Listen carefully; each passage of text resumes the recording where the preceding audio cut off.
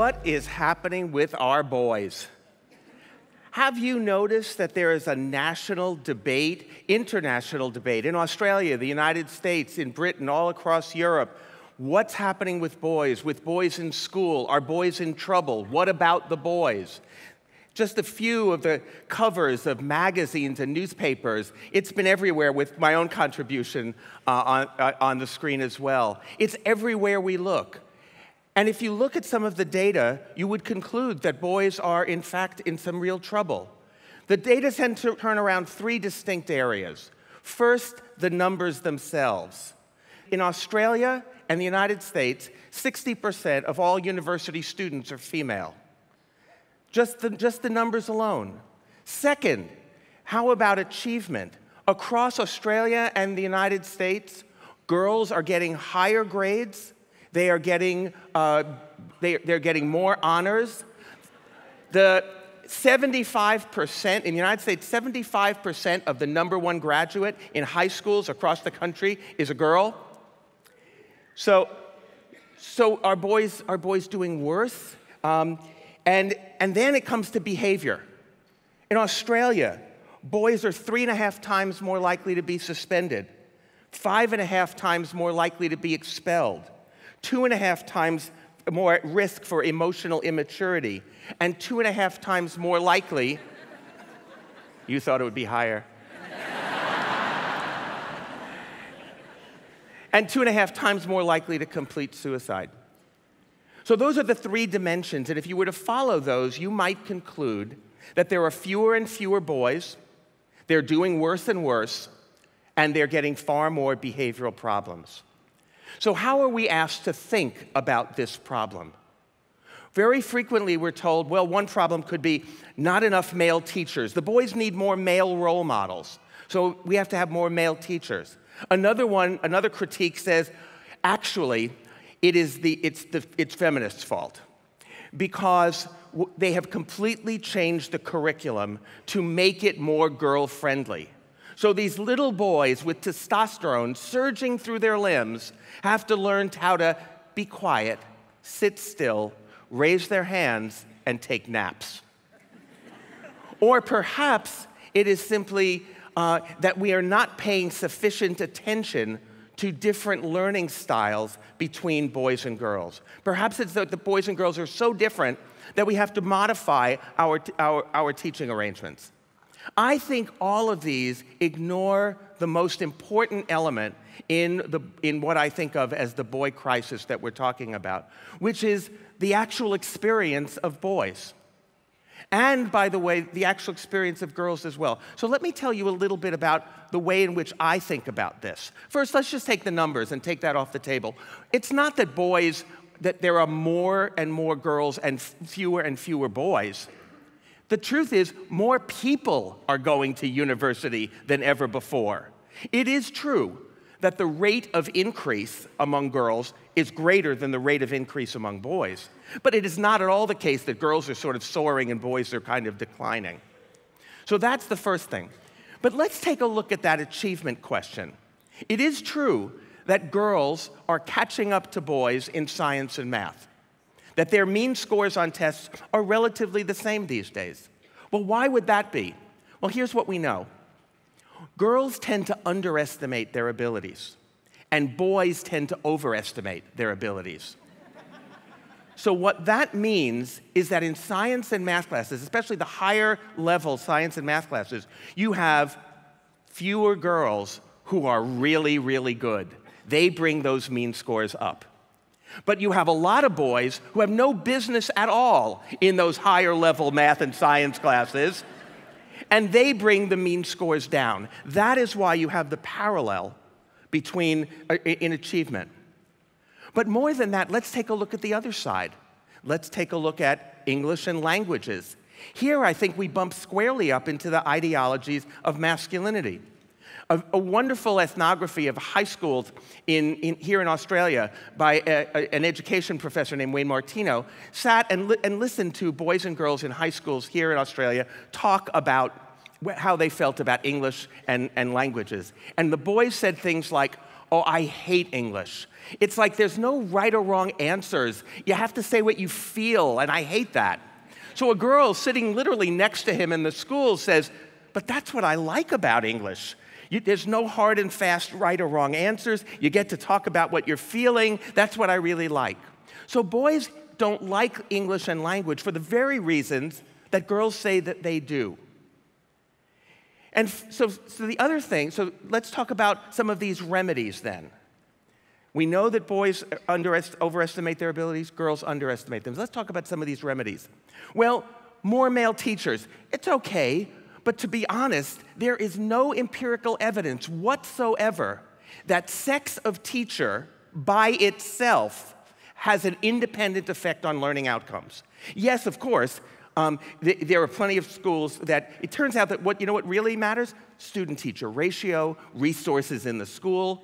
Independently sex of teacher is way down on the list of, of having a real effect but let's talk about some of those other reforms. The feminized curriculum for example. Well i've addressed that by talking about the ways in which boys and girls estimate their abilities. But then there's this idea that we're not adequately dealing with boys and girls' different learning styles. And there's a movement in the States which actually is somewhat reproducing some of the traditions that you have here in Australia, which is single sex schools, or even, in our case, single sex classrooms in public schools. So when students go off to do math and science, they separate the boys and the girls. Now, I want you to think about this, and those of you who are parents, I want you to think about this as well, uh, about your own kids.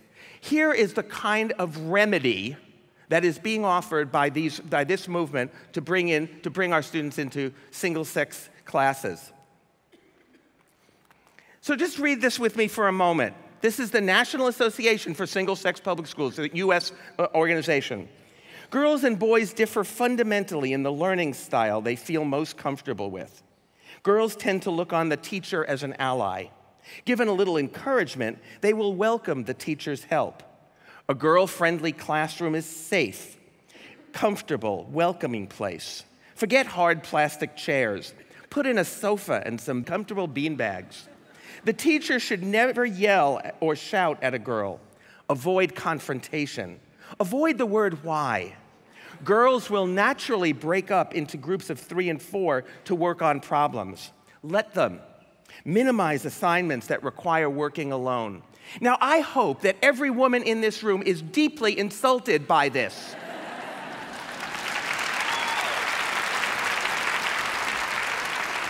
But what I also hope is that all the men are pretty insulted too. The only way we could possibly learn is if we're in hard plastic, uncomfortable chairs and the teachers are yelling at us, um, constantly saying, why, why, why and we can never work cooperatively. This is what I think is we're, we're being asked now to teach to stereotypes, not to our children. We know our children are as different as snowflakes. We cannot possibly teach to this kind of stereotype. So I think these are the, this is the kind of issue. And now I want to talk about what I have found. I've been working with, um, with, a, with some, some boys' schools here in Australia. And I've been doing some workshops with them. And here's basically the, the, the, the basic conclusion that I've come to looking at the way boys approach their education across the United States and in Australia. And this is the key to what I want to tell you today. Boys regard academic disengagement as a sign of their masculinity. How little they care about school is a badge of honor among their, their male friends. How, say it another way academic engagement is really seen as kind of questionable. This is the key then that boys have come to regard academic disengagement as a way to prove their masculinity.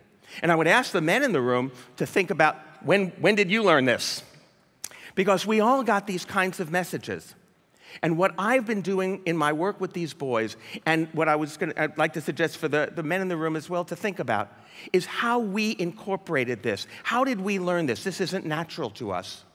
We're naturally, if you've ever watched a two or three year old there, we are naturally unbelievably curious. Somewhere along the way, we lose that. And so the workshop I do, and this I'm going to ask, ask the men in the room just to think about this for a minute. When you wake up in the morning, this is, a, this is what the kind of exercise I do with the, with the boys and, and with men uh, in lots of different countries. When you wake up in the morning, men, and you look in the mirror, and you say to yourself, You're a good man.